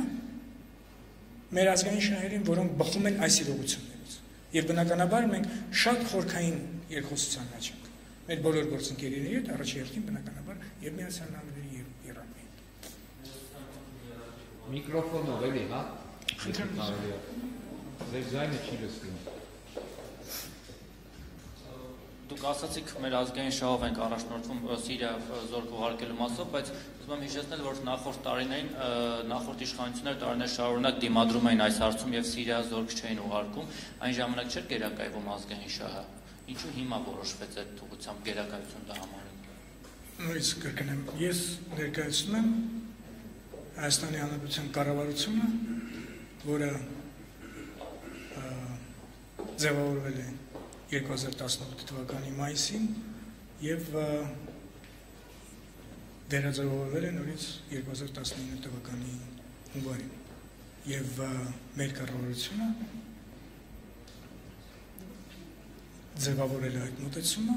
եւ ազգային շահի այդ արտահայտումը Սիրիայի կոնտեքստում եւ մշակել է այդ մոտեցումը, որը արտահայտվում է հումանիտար առաքելություն իրականացնելով Սիրիայում, մասնավորապես հիմա կոնկրետ Հալեպում եւ ինչի Հալեպում։ Սա մեր կառավարության քաղաքականություն։ Շնորհակալություն։ Նորայր Շողիկյան, Արմեն Պրես լրատվական գործակալություն։ Պարոն նախարար, առաջին հարցս վերաբերում է Հայաստանի եւ Ադրբեջանի արտաքին գործերի նախարարների հանդիպմանը, արդյոք կան արդեն հստակեցված ժամկետներ, երբ այն կկայանա եւ երկրորդը ԵՄ-ի հետ վիզաների ազատականացման հարցով ինչ փուլում ենք, քանի որ երկխոսության հավանական մեկնարկի ժամկետ նշում էր 2020 թվականը։ Շնորհակալություն։ Շատ շնորհակալություն ձեզ հարցերի համար։ Ուրեմն ինչ վերաբերվում է մեր հաջորդ հանդիպմանը գիտեք ես կուզեմ օգտվել հարցից հարցի եւ նորից նորից անդրադառնալ այն իրողությանը, որ նաեւ բազմիցս նշել եմ, այս տարվա ընթացքում մենք մեր կառավարությունը շատ հստակ արտահայտել է լրջությունը մեր մտադրությունների ակտիվ աշխատելու խաղաղ կարգավորման գործընթացի ուղղությամբ եւ այս տարվա ընթացքում ինքը արդեն թիվը հանդիպումների արգոսնախարարների միջև եւ երկու երկրների ղեկավարների միջև ինքը արդեն իցույց է դնում այն, որ մենք իրապես այդ լրջությունը մեր մտադրությունների աշխատել խաղաղ կարգավորման ուղղությամբ։ Եվ այդ առումով է, որ այո, ինչ արդեն ասել եմ, որ այո, այդ հանդիպումը նախանշված է, ծրագրավորված է, տեղի ունենալու շուտով եւ նորից ստիպված եմ ներողություն խնդրել, որ մենք միաժամանակ ունենալով այս գիտեք ավանդույթը կամ այդ սկզբունքը, այդ համաձայնությունը, համաձայնությունը միաժամանակ հայտարարելու հանդիպման մասին, ես բնականաբար չեմ ուզի խախտել, որովհետև կա համաձայնություն մեր մեջ երկու արգոսնախարարների եւ համանախագահների միջև եւ բնականաբար ես ինձ թույլ չեմ տա խախտեմ այդ այդ համաձայնությունը բայց այո ծրագրված է եւ շուտով տեղի կունենա ձեր երկրորդ հարցը վիզաների լիբերալիզացման մուտքի արտոնագրերի լիբերալիզացման գործընթացի առումով սա մեզ համար դուք անդրադարձաք 2020 թվականին 2020 թվականը այդ այդ ժամկետը ինքը արտահայտված է նույն արևելյան գործընկերության որքան իշխան արևելյան գործընկերության գագաթնաժողովի վերջին փաստաթղթում մեզ համար անկախ ամենից անկախ ամենից սա մեզ համար գերակայություն է մեզ համար գերակայություն է դա ոչ թե 20-20 թիվ ունենալ այլ ուղակի օր առաջ եւ այդ առումով ես ասեմ մենք բավական մեր կողմից շատ նախաձեռնողական ենք այս հարցը ոչ թե ուղակի թողել ենք Եվրամիությանը Բրյուսելում որտեղ հարցը առնչվում է բոլոր անդամ պետություններին, այն պետություններին։ Եվ մենք ակտիվորեն երկկողմ մակարդակով շատ հստակ աշխատում ենք այդ ուղղությամբ, այդ երկխոսության մեկնարկը հայտարարելու ուղղությամբ։ Մեր համար չափազանց մենք շատ ողջավորված ենք այն մտադրությամբ եւ այն ուրեմն հայտարարությամբ, որ հնչեց Եվրոմիության հանձնաժողովի նախագահի կողմից, Ժան-Կլոդ Յունկերի կողմից, մենք ինքներս մեր կողմից ունենք ձևավորված այդ խումբը բոլոր մասնի էքսպերտների, որոնք առնչվում են միգրացիոն հարցերին եւ արտոնագրերի հարցերին, այո, ցույց բերնում էր դեք սահմանային կառավարման եւ միգրացիոն մեր քաղաքականությունը եւ մենք նպատակային աշխատում ենք մայրաքաղաքներով երկխոսություն իրականացնելով, որ เป զի ի ցույց դնենք թե ինչպես ենք մենք շարժվել առաջ, որքանով ենք մենք գնահատում բավարար մեր պատրաստականությունը այդ երկուսությունը սկսելու համար եւ լսելու այն մտահոգությունները, որոնք կարող են լինել տարբեր մեր երկու գործընկերներից։ Սա շատ ակտիվ է մեր համար բավական, գիտեք, չափազանց մեծ գերակայություն է եւ վճռականություն է, որ մենք ճեղքենք սա եւ հասնենք մեր նպատակին։ Եվ չենք զլանալու եւ շարունակելու ենք չափազանց մեծ ներուժ ներդնել այդ այդ այդ այդ այդ ուղղությամբ։ Սա մեծ գերակայություն է մեզ համար, որովհետև սա շատ կոնկրետ կոնկրետ շոշափելի ծառայություն է մեր հասարակությանը, մեր մարդկանց։ Միևնույն ժամանակ ես ասեմ, որ մեր համար այդ միայն վիզայի վիզաների ազատական ազատականացմամբ չի սահմանվում մեր երկխոսությունը այդ բնակավարում, կա նաև վիզաների դյուրացման հարցը եւ ռեադմիսիայի հարցը, որը գործող պայմանագրեր են։ Եվ այստեղ նույնպես մենք հիմա նախապատրաստում ենք վիզաների մուտքի արտոնագրերի դյուրացման համաձայնագրերի շրջանակներում համաձայնագրից համաձայնագրից բխող այդ մարմնի շրջանակներում, որը կոմիտեն է, կոմիտեն է, որը հարթակ է, որ երբ կողմերը միասին հավաքվում են գնահատելու ինչպես է իրականացվում վիզաների դյուրացման գործընթացը, մենք ստեղ ունենք բազմաթիվ հարցեր, որովհետև մեզ համար բավական մտահոգիչ է այն խնդիրները, մտահոգիչ են խնդիրները, որ առաջանում են մեր քաղաքացիների համար Եվրամիությունը դեպի Եվրամիության երկրներ վիզաներ ձեռք բերելու առումով մենք գիտենք այդ խնդիրը, դա մտահոգիչ է եւ մենք մտադիր ենք արդեն այդ ինստիտուցիան համակարգված ձևով նորից անդրադառնալ նրան եւ լուծումներ գտնել արդեն այս սեպտեմբերյան կոմիտեի հանդիպման ժամանակ։ Միևնույն ժամանակ կրկնեմ, որ գույություն ունի նաև ռեադմիսիայի պայմանագիրը, որովհետև եթե մենք առաջ ենք գնում եւ շատ կոնկրետ արդյունքներ ունենք սпасելիք թե վիզաների դյուրացման առումով, թե ազատականացման առումով, մենք նաև պետք է շատ հստակ մեր համար գիտակցենք եւ հասկանանք, որ մենք չենք կարող մի կողմից սпасել առաջընթաց դյուրացման եւ լիբերալիզացման առումով եւ մյուս կողմից քաջալերենք անօրինական միգրացիա։ Դա մենք երբևէ չենք անել ու չենք անում։ Եվ այստեղ նույնպես շատ մեծ նշանակություն ունի, որքան արդյունավետ ենք մենք համագործակցում նաև այդ այդ առումով։ Սա շնորհակալ եմ ձեզ, որտեղ առիթ տվեցիք ավելի ամփոփ այսպես անդրադառնալ այս հարցին, որը շատ կոնկրետ է եւ ունի ուրեմն շատ հստակ ձևավորված նպատակ։ Ես ուղղակի մեծ համարում եմ շատ կարևոր սա գերակայություն եւ չեմ սահմանափակում դա ինչ-որ ժամկետներով սա ինձ համար հարց է, որը ես ուզում տեսնել լուծումը օր առաջ։ Եվ սա մեր օրակարգի շատ կանոնավոր հարց է։ Ճեղքել այդ իրավիճակը եւ ստանալ վիզաների լիբերալիզացման գործընթացի մասին մեկնարկի հայտարարություն եւ հանձնաժողովի հետ Եվրոմիության մենք աշխատում ենք այդ առումով շատ լավ եւ շնորհակալ եմ գործընկերներին հանձնաժողովում, որոնք բավական մեծ ներուժ են, բավական մեծ ջանքեր են ներդնում այդ առումով եւ նաեւ մեծ նշանակություն ունի մեր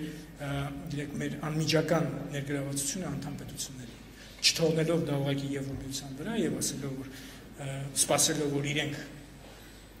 ուրեմն կիրականացնեն այդ գործառույթը անդամ պետությունների հետ աշխատելու, այն մեր կողմից անմիջապես աշխատելու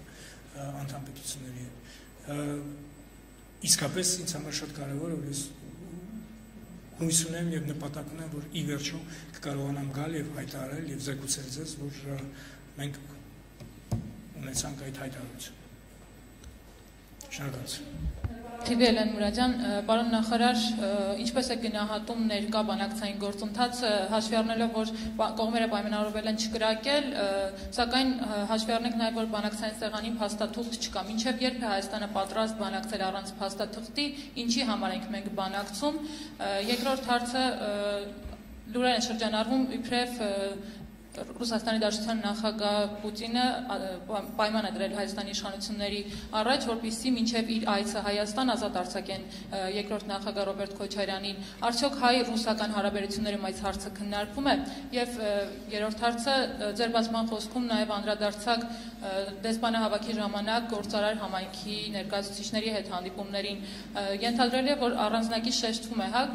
տնտեսական դիվանագիտությունը, արդյոք սա փորձ է վերանայելու տնտեսական տնտեսական դիվանագիտություն։ Շնորհակալություն։ Սկսեմ ձեր երկրորդ հարցից, որ ամենահեշտն է։ Որտեղ այնտեղ մեկնաբանելու ոչինչ չկա։ Այդ բաները, գիտեք, այդ բամբասանքներ կամ գիտեք, ասեկոսներ, պայման դնել եւ այլն եւ այլն նորից կրկնեմ, խնդրեմ ավելի լուրջ վերաբերվել մեր սկզբունքին եւ կան ներքին ներ, ներքաղաքական հարցեր կամ ներքին իրավական դատական հարցեր։ Եվ ուղղակի ստեղ միակ պատասխանը կխնդրեմ ուղղակի ավելի լուրջ վերաբերվել մեր սկզբունքին, որտեղ մենք չափազանցում չենք այս սկզբունքին։ Ինչ վերաբերում է ձեր երկրորդ առաջի հարցին։ Ուրեմն գիտեք ինչպես է, ես չեմ ուզում որ տպավորություն ստեղծվի, որ երբ որ թղթով չենք աշխատում, ուրեմն մենք չենք բանակցում։ Որովհետև այսօրվա հիմնական մեր գերակախնդիրը մեզ համար ես Հայաստանի հանրությունից, այո, դա անդրադառնալն է այն բազմաթիվ պարամետրերին, որոնք իրենց ամբողջության մեջ պոտենցիալ լուծման ճանապարհն են, այո։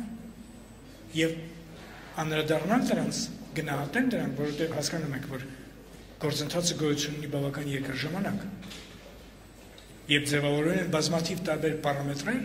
որոնք իրենց համադրության մեջ կարող են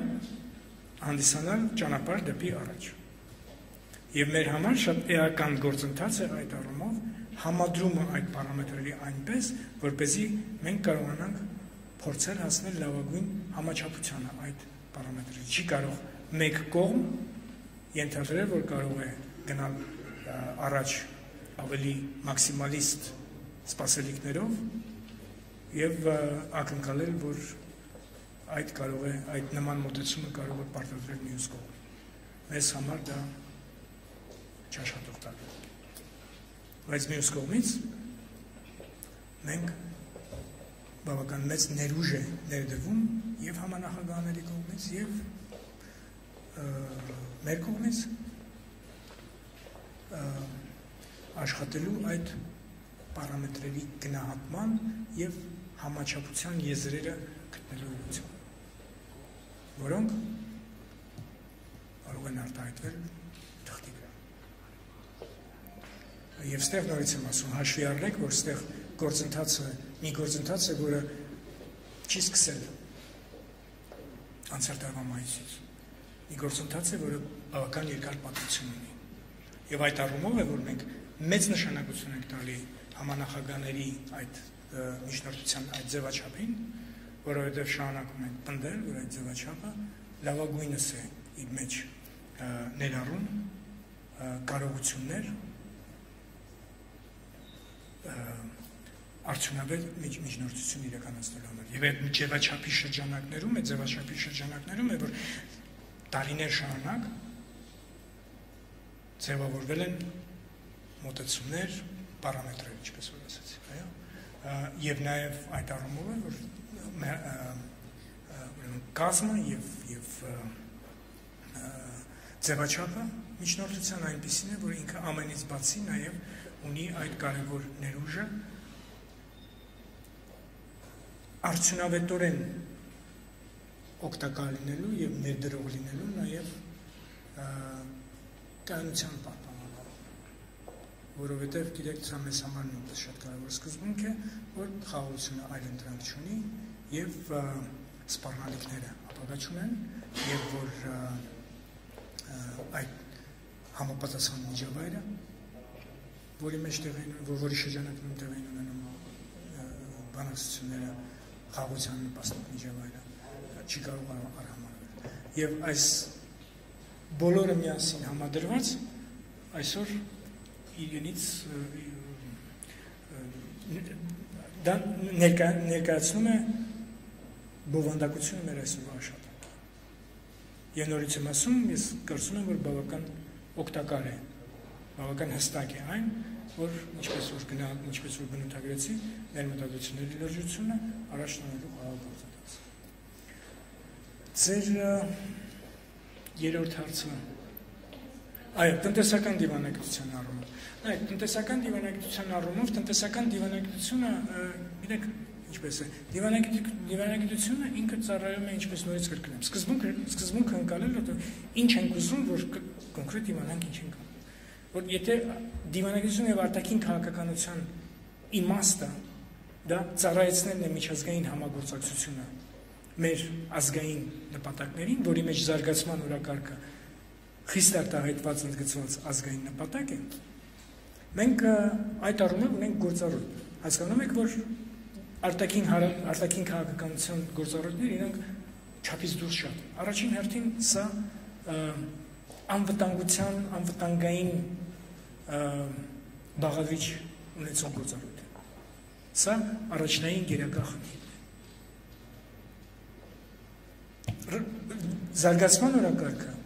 նույնպես գերակա օրակարգ է, առաջնային գերակա օրակարգ է մեր ազգային քաղաքականությունը, որի որ, որը իր մեջ պարունակում է զարգացման զարգացումը իր բոլոր երանգներով։ Երբ որ մենք խոսում ենք մշակութային, կրթական, գիտական եւ մնացած այլ ոլորտներում համագործակցության մասին, սա նույնպես զարգացմանը նպաստող օրակարգ է։ Ծառայեցնել միջազգային համագործակցությունը մեր նպատակներին։ Եվ առանձնահատուկ նշանակություն ունի իհարկե տնտեսական բաղադրիչը։ Մեր մտածումը այստեղ եղել է, գիտեք ինչպես է։ Մեր տնտեսությունը հիմնված է մասնավոր հատվածի վրա։ Եվ մենք այդ առումով մենք մատուցում ենք ծառայություն։ Որ որքանով ամրապնդել եւ լավացնել մեր որակը այդ ծառայության, ամրապնդել որակը ծառայության։ Սա բազմիցս մենք քննարկել ենք եւ կարծես թե մենք ունենք արդեն ձևավորված շատ հստակ մոտեցում այդ առումով, որ մեր առաջնային նպատակն է ի հայտ բերել այն անհրաժեշտ հարթակները, որտեղ անմիջական դերակատարները գործարաններից մինչև յուրաքանչյուր այլ իրենք դերակատար, որպեսզի ինքը ունենա անմիջապես ներգրավել հետապնդելու համար իր նպատակը։ Եվ այդ առումով մենք շատ շատ մեծ նշանակություն ենք տալի միավոր տնտես տնտեսության ոլորտում գործող համակարգված ձևավորված պատ, պատվերի մշակմանը։ Ես օրինակը բերեցի ինֆորմացիոն տեխնոլոգիաներում, բարձր տեխնոլոգիաներում այդ իրենց ձևավորված արդեն ձևաչափին աշխատանքը։ Եվ մեզ դա շատ հեշտացնում է մեր աշխատանքը։ Ինձ համար շատ ողջավորիչ է այդ փորձը, որ ես անձամբ ներդրեցի, երբ որ արգոսնախարի այցը տեղ ունենում, ես փորձում եմ ընդլայնել պատվիրակությունը եւ ներառել նաեւ անմիջապես դերակատարները։ Եվ մեր նպատակն է, մեր մեր գործառույթն է ստեղծել հնարավորությունը օգտագործելով միջպետական այդ երկխոսությունը նաև համապատասխան հարթակ ստեղծել այդ տնտեսվաների, այդ դերակատարների համար, հա, դյուրացնելու համար իրենց իրենց շփումը, իրենց համագործակցությունը, իրենց համ, պոտենցիալ գործընկերների հետ այս կնան երկրի։ Դա դրա իմաստն էր այսինքն այդպես է կառուցած մեր այս Էստոնիա, այդպես է կառուցած մեր այս Եթովպիա եւ Ռուանդա, այսպես է կառուցվում նաեւ մոտակա գալիք այցը։ Ես օրինակը վերցրեցի բարձր տեխնոլոգիաների օրինակը վերցրեցի։ Այո։ Մենք նաեւ ականատես ենք լինում ինչ որքան բարդ է, երբ որ դժվար է ձևավորել պատվերը։ Այսինքն երբ որ դժվար է ստանալ պատասխանը, թե երբ որ մենք հարցնում, ինչ եք ուզում, ոչ այդքան արդյունավետ է ձևաչափը, երբ որ մենք ինքներս սկսում ենք ձևավորել, թե գործարարը ինչ է ուզում։ Այսինքն դեսպանը իր երկրում կամ գիտեք արգոս նախարարությունը սկսում են փորձել գտնել ձևաչափեր, որոնք ենթադրաբար կարող են օգտակար Դա ավելի քիչ արդյունավետ է։ Մենք այդ առումով շատ լավ համագործակցություն է ձևավորվել նորից կգնեմ գինեգործների հետ, որոնք նույնպես շատ լավ մրցակիցներ են իրեք որքան արտադրող կա, այո, եւ մրցակիցներ են, բայց նաեւ կարող են արտահայտել իրենց միասնական շահ, իրենց միասնական, ինչպես ասեցի, պատվերը։ Եվ ստեղ է այդ գիտեք այդ աշխատանքը այս փորձերով հասնել լավագույնս ինչ որ ես ինչ որ ես ինչպես որ ես ասում լավագույնս ծառայություն մատուցելու այդ ձևաչափին հասնելու։ Այդ առումով մեր հանդիպումները ուրեմն գործարարների հետ իցույց դրեցին, որ շատ դժվար է աշխատել, երբ որ այդ ասոցացված միջավայրը ինքը խախտված։ Շատ դժվար էր։ Գինեգործների կողմից շատ օգտակար էր, որտեղ շատ գործնական էր, երբ որ իրենք արտահայտեցին միասին, դա ոչ թե ուղղակի հանդիպում էր եւ հյուրասիրություն։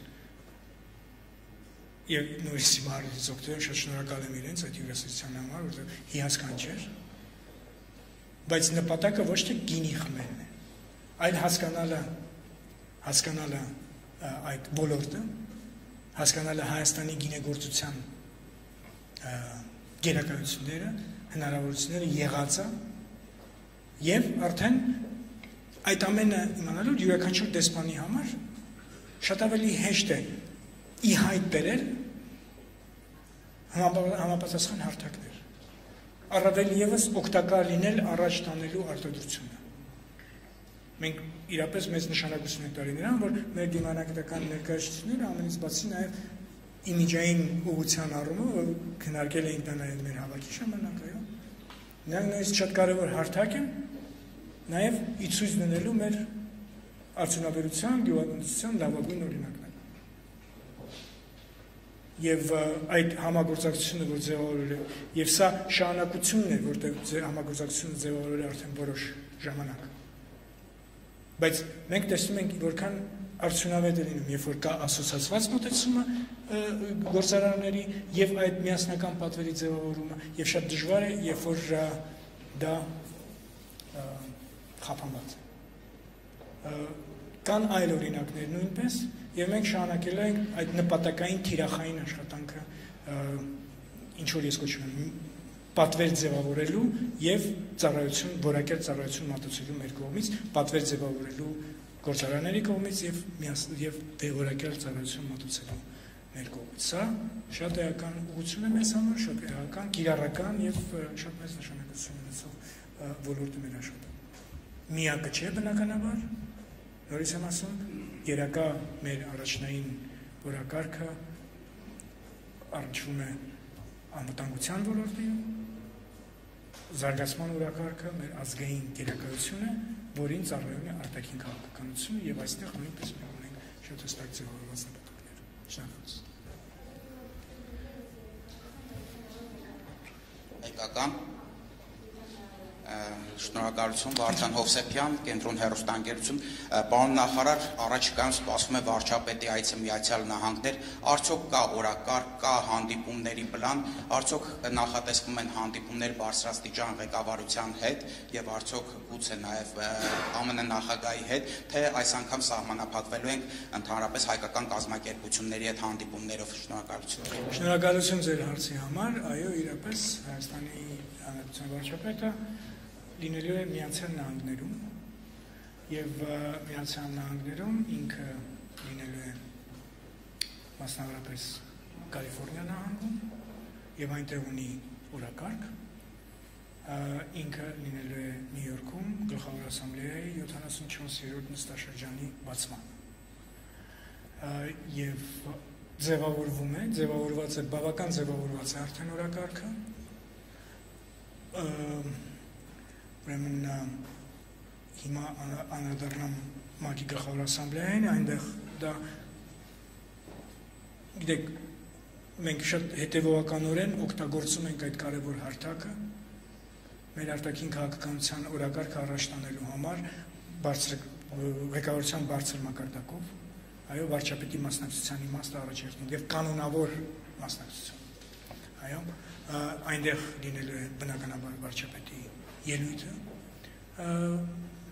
գլխավոր ասամբլեայի ընթացքում նստաշրջանի ժամանակը այնտեղ լինելու են երկու հանդիպումներ, այնտեղ լինելու են տարբեր այլ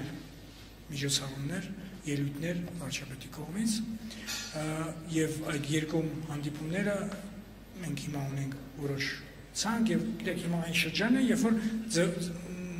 հանդիպումներ են պայմանավորվածությունները հստակեցվում որտեղ այդ շրջանը, ասեմ դες այդ մեկ շաբաթը, հանրապես դա լավագույն այդ հավաքներից է, երբ որ հնարավորություն կա տարբեր ուրեմն հանդիպումների եւ ոչ անպայման նստել այն նաեւ եւ ընթացքում եւ ճաշի ժամանակ եւ միջանցքներում եւ այն այդ ձևաչափն է որը միջազգային հարաբերությունում բոլորը շատ ակտիվ օգտագործում եւ դրա համար էլ այդպես ակտիվորեն մասնակցում են գլխավոր ասամբլեայի նստաշրջանների բացմանը։ Հիմա ես ավելի կոնկրետ անդրադառնամ ձեր հարցի ենթատեքստին։ Դուք անդրադառնում եք Միացյալ Նահանգներին եւ բնականաբար ես հասկանում եմ, որ ձեր հարցը վերաբերում է թե արդյոք Հայաստանի վարչապետը հանդիպելու է Միացյալ Նահանգների նախագահին։ Դա մեր օրակարգային հարցն է։ Բայց ես ուզում եմ անդրադառնալ նաեւ այս հարցին եւս մի փոքր այլ շեշտադրումով։ Այս տարվա ընթացքում մենք Միացյալ Նահանգների ունեն հետ ունենք չափազանց բավարար երկխոսություն բարձր մակարդակով։ Ուղղակի եթե ուշադրություն դարձնենք եւ վարչապետի եւ արգոսնախարարի հանդիպումների ծավալը եւ մակարդակը հաշվի առնելով նաեւ միացյալ նահանգների պետական կառուցվածքը մենք որևէ դեֆիցիտ միացյալ նահանգների հետ շփումների բարձր մակարդակով այսօր չունենք եւ սպիտակ տան մակարդակով եւ պետքարտուղարության մակարդակով այդ հարթակներում բարձր մակարդակով մենք ունենք շատ ակտիվ երկխոսություն շատ ակտիվ երկխոսություն եւ չունենք չունենք որևէ սահմանափակում ցանկացած բայի ակտիվացնելու։ Շատ բարձ լեզվով ասեմ ձեզ, եթե ես որևէ падգամ ունեմ, որևէ բան ունեմ ասելու, ես անմիջապես կարող եմ հասցնել դա Միացյալ Նահանգների բարձր մակարդակի իմ գործընկերներին։ Այդ առումով նաև շատ ակտիվ են աշխատում, շատ ակտիվ է աշխատում մեր դեսպանությունը Վաշինգտոնում, որը նույնպես շատ ակտիվ ներգրաված է այդ հարաբերություններում բարձր մակարդակով։ Մենք այսօր որևէ դեֆիցիտ միմյանց հետ շփվելու եւ միմյանց հետ ցանկացած հարց քննարկելու չունենք։ Ինչ վերաբերվում է վարչապետի եւ Հայաստանի Հանրապետության վարչապետի եւ միացյալ նահանգների նախագահի հետ հանդիպմանը կլինի, երբ կլինի, շատ լավ է։ Աշխատում ենք եւ սա մեր համար օրակարգային հարց Բայց ուղղակի ֆիքսվել միայն որ եթե չկա ուրեմն այդպես է, ես այդ մոտեցումը չեմ կիսում։ Որտեւ նորից եմ կրկնում։ Որևէ պակաս շփումների բարձր մակարդակով մենք չունենք։ Եվ բնականաբար հողում եմ անում ուղղակի ժամանակացույցին եւ մակարդակին մեր հանդիպումների, որտեղ են ունեցել այս տարվա ընթացքում։ Քանի անգամ ում հետ ինչպես։ Շնորհակալություն։ Մարտիրոսյան 168 եմ։ Պարոն նախարար, այս 1.5 տարվա ընթացքում շատ են հնչում քննադատություններ, որ Լեռնային Ղարաբաղի հակամարտության կարգավորման գործընթացից դուրս են մնացել Վիեննայի, Սանկտ Պետերբուրգի եւ Ժնևի պայմանավորվածությունները, ինչպես նաեւ համանախագահներն իրենց հայտարարություններում չեն հիշատակում կարգավորման երեք սկզբունքները։ Երբ կարող ենք ակնկալել, որ այս երեք սկզբունքները կվերադառնան համանախագահների բառապաշար, ինչպես նաեւ առաջընթաց նախկին այդ երեք կարևոր պայմանավորվածությունների ուղղությամբ։ Շնորհակալություն ձեր հարցի համար այդ անդրադարձները իրենք չեմ կարծում որ պետք է հնչեն որպես ինչ որ մի գիտեք ավետարանից վերցրած ինչ որ բաներ, որոնք այսպես այսքանը գիտենք, էլ ուրիշ բան չգիտենք։ Նայեք, հիմա եթե շատ հետևական նայենք, մենք խոսում ենք մեր գերակայությունների մասին, որի հիմքում դրված է երկու հարց՝ անվտանգություն եւ կարգավիճակ ինքնորոշման իրավունքի արտահայտությունը եւ անվտանգությունը հիմքում անվտանգությունը։ Սա մեր համար գերակայությունն է։ Սկզբունքների մասին խոսելիս սա է մեր սկզբունքը։ Սրա վրա է կառուցած մեր հիմնական գերակայությունը։ Սա բացահայտ գերակայություն։ Այո։ Եվ նորից անդրադառնալով նախորդ հարցին կա այդ պարամետրերի համադրումը համա համադրումը եւ հավասարությունը։ Ես խոսում եմ ին գերակայությունների մասին։ Անվտանգություն եւ ստատուս, ինքնորոշման իրավունք։ Այո։ Ինչպես համադրել եւ համաչափ դա մյուս գերակայությունների հետ, դա այդ պարամետրերի համադրում։ Ինչ վերաբերվում է Սան Պետերբուրգ եւ Վիեննա։ Սան Պետերբուրգ եւ Վիեննան դա փաթեթն է որի մեջ դրված են կոնկրետ նպատակներ։ Մենք այսօր ունենք իրավիճակ, երբ իհարկե ես չեմ օգտագործելու բավարար բառը, որտեղ յուրաքանչյուր գրակոց անբավարար է։ Բայց զգալի տարբերություն լարվածության առումով։ Բավարար երբեք չլինի, եթե կա նույնիսկ մեկ գրակոց։ Բայց զգալի տարբերություն։ Դրա հիմքում դրված են տարբեր բաներ, առաջի հերթին նաև այն, ինչ հնարավոր եղավ պայմանավորվել Դուշանբեում։ Ես նաև առիթ ունեցել եմ խոսելու անհրաժեշտության մասին Դուշանբե պլյուս։ Եթե մենք ունենք կոնկրետ բովանդակային առումով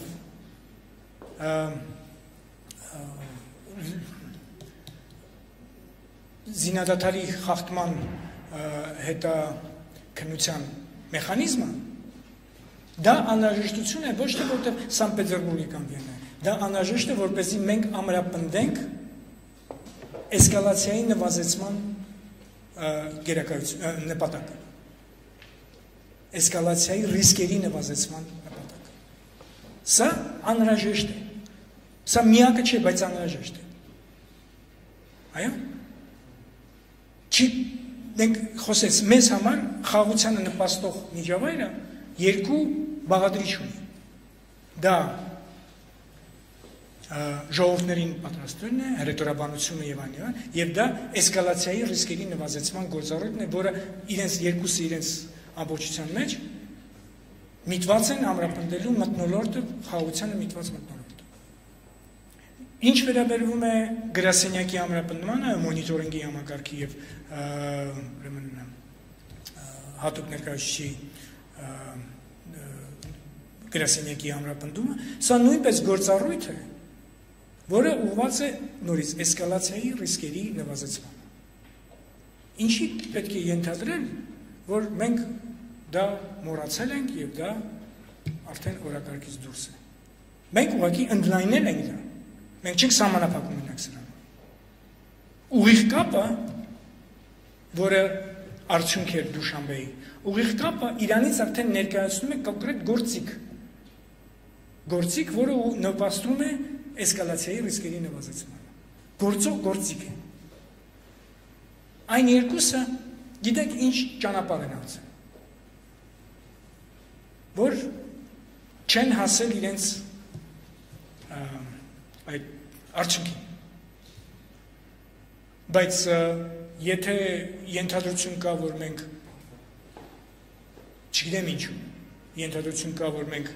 պետք է մոռանանք դրա մասին կամ մեր համար դա նշանակություն չի ոնց կարա նշանակություն չունենա երբ որ կոնկրետ նպատակ նպատակը այդ այդ գործառույթի ինքը համա ինքը ամբողջովին համալրում է այն գերակախնդիրը, գերականապատակը, որը վերաբերում է էսկալացիայի ռիսկերի նվազեցման։ Ստեղ որ կիրառական առումով շարժվելն է առաջ։ Դուշոմե պլյուս այո, այդ անհրաժեշտությունը կա ավելի ամրապնդելու այն ինչ որ մենք ասել ենք։ Այո, մենք ունենք իրավիճակ, երբ որ լարվածության լարվածության առումով տարբերություն կա, բայց որքանով ամուր է եւ խորքային է դա, դա առօրյա մեր մարտահրավերն է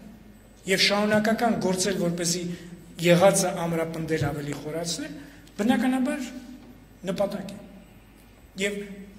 դրա բաղադրիչներից են ոչ սահմանափակված դրանով միայն, բայց բաղադրիչներից են կային այլ գործառույթներ կան այլ տարբեր գործիքներ, որով հնարավոր է եւ մենք որով որոնք քննարկման առարկա են։ Այո։ Ինչպես ամրապնդել շփումը շփման գծում օրինակ։ Այո մոնիտորների առումով ինչպես իրենց անել։ Եթե խոսքը գնում է մոնիտորների մասին, որոնց թիվը պետք է մեծանա զուտ կենտրոնում նստելու համար, հա, կենտրոնը հիմա բանասի, որ նստում են Թիֆլիսում, Թբիլիսիում Մենք ավելի գործնական քայլ ենք սպասում։ Մեզ անհրաժեշտ է ավելի գործնական ամրապնդել այդ գործիքը ավելի գործնական իրար։ Կան տարբեր նրբություններ, բայց հիմնական խնդիրը հետևանն է։ Չի կարող լինել ժխտում որևէ մեխանիզմի, որը ծառայում է մեր կարևորագույն նպատակին՝ ռիսկերի էսկալացիայի, ռիսկերի նվազեցման։ Եվ սրանք բաղադրիչներ են, սրանք գործիքներ են, որոնք որոնք եղել են մնացել են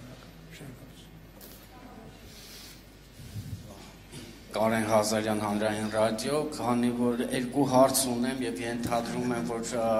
կարճ հարց եւ ակնկալում եմ կարճ պատասխան, ենթադրում եմ այդպեսին են, երկուսն էլ տամ էլի։